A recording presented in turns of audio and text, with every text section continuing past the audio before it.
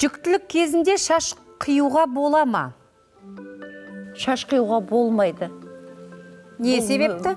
өйткені э, мына әйел әйел адамның әрбір тал шашының өзі іштегі ана баламенен байланысты болып жатыр баланы тітіркендіреді екен. Бұл ғылыми жағынан да дәлелденген нәрсе.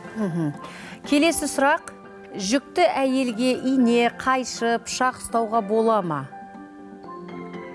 Жоқ бұл ай күніне жақындаған кезде жаңағы енді мына инені қайшыны баяғыда ұстатпай жататын жіп ұстатпайтын өйткені баланың кіндігі іште оралып қалады деп Иә. Ы, содан кейін ана өткір нәрсе мысалы үшін абайламай қолын кесіп алуы мүмкін немесе ине тиюі мүмкін. Әрбір денесінің тітіркенгені ол балаға барып зиян болады.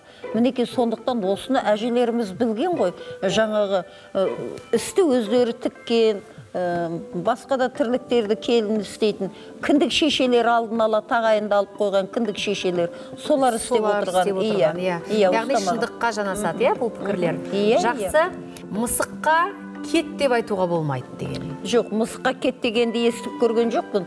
Бірақ итке кет деп айтуға болмайды. Өйткені итті қазақ жеті қазынаның бірі дейді. Аяқ ауыр әйел түйенің қоянның етін жемегені абзал деген. Ә, түйе өзінің төлін 12 ай көтереді. 12 ай көтереді. Ә, сондықтан ана түйенің етін жесе сол түйеге ұқсап кетеді дейді дағы. Бала өзінің уақытынан 9 айдан асып кетпесін келін қиналып қалмасын деп түйенің етін жегізбейді. Бұның да негізі бар шынымен Иә.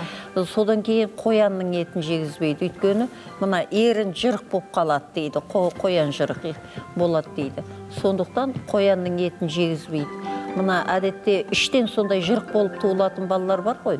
Ә, бір қызық жері шынымен де қоян етін жегенде сондай болып қалады екен. Сосын бір нәрсеге жүктілік кезінде жиіркеніп қарасаң жақтыртпай налып иә. қарасаң мына қа- қа- қазақтардың тектілігі соншалық. Ешқашан жүкті екі қабат деген сөздер бұл кейін шыққандар ғой шындап келгенде. Сонда ана келіні ә, келіні ақ алғысты болыпты дейді. Іші аққа жарыпты дейді. Міне өстіп сөйлеген ғой бұрын тіпті жаңағыны әдемілеп сөйтіп. Енді қалай болғанда да бұл ененің парасатына көп байланысты. Жаңағы келінді қалай ұстайды? Ә, соны мына менің болашақ ұрпағымның анасы деп ұрпағымды өсіруші менің өкше басарым із басарым деп қарай ма? Жоқ келген деп қарай ма? Бұл жерде енеге көп байланысты.